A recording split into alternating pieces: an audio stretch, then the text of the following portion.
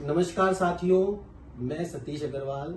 मैं दद्दू संतोष आनंद जी के साथ मुंबई की यात्रा पर हूँ। यहाँ पे आ, हम लोग अभी मुंबई में होटल में हैं गोरेगांव स्थित होटल में।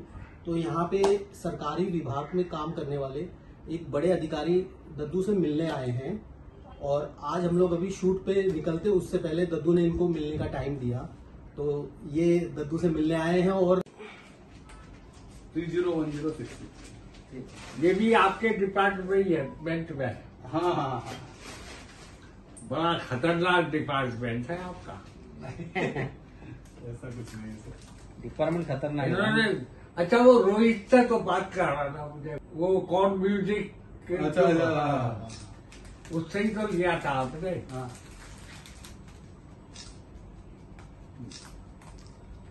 तो नौशाद साहब हेमंत कुमार। ये लोग आए थे। हम्म, पाकिस्तान की पूरी टीम आई थी। और ये इमरान खान जो था उस टाइम बॉलर था से हाँ। मुश्ताक मोहम्मद जो था मुश्ताक वो वो कप्तान था। तो ये आया था मतलब ये सिर्फ़ बॉलर था। और नौशाद साहब सब तो मैं बाहर जाके बैठ गया था। तो लता जी रिहर्सल कर रही थी।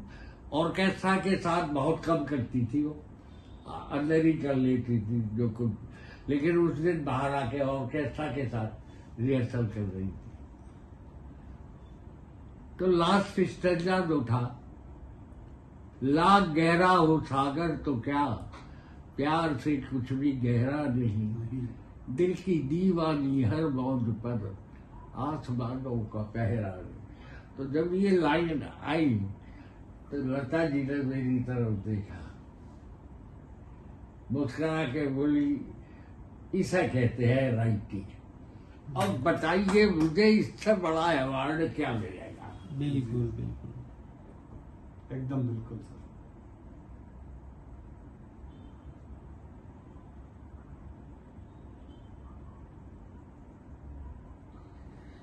भी लक्ष्मी जी के जाने के बाद मेरा दिल टूट गया। प्यारे भाई घर में बैठ गए। और ये जितने भी थे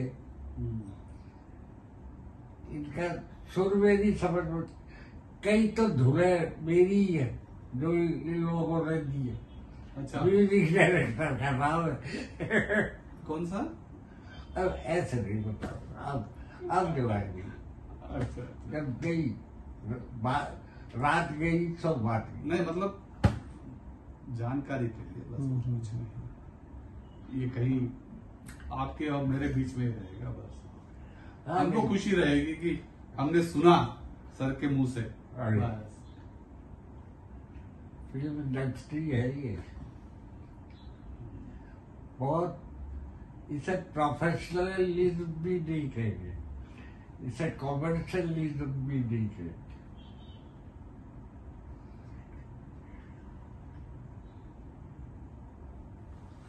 बस सेल्फिश सेल्फिश